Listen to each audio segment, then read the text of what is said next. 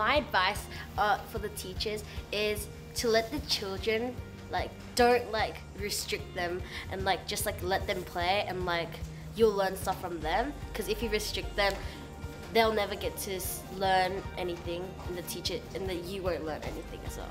For the teacher is to like be creative and uh, because you're it because minecraft is like a game and it's really fun and you can involve lots of people in it and the students they'll feel more like they'll they'll like playing minecraft better than doing work on worksheet I think like after they've like learned the controls, obviously, then maybe they should just like um get involved with the community because like there's a huge community with Minecraft and there's like a lot to learn from them.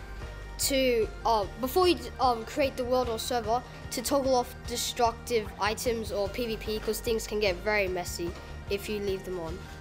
My advice would be like to play Minecraft before using it, so like, like children won't get too annoyed by being asked so many questions, and then they can just get on with it. use the pause button on the game um, in classroom mode, yeah, um, that can be putting an end to everybody's, especially if they're playing on the same world.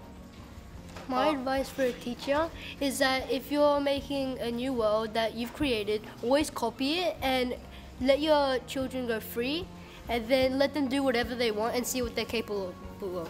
My advice to the teachers is to like not get discouraged if you can't like play it properly at first because I think all of us have experienced that.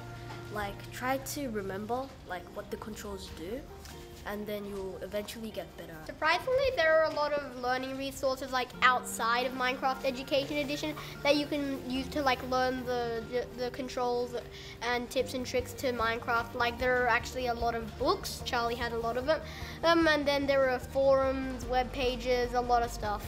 I think that um, they should just like spend more time on it to get like better, and they can like get involved with more activities with kids because they they should because they should just spend more time on it to enjoy it more and like just get involved.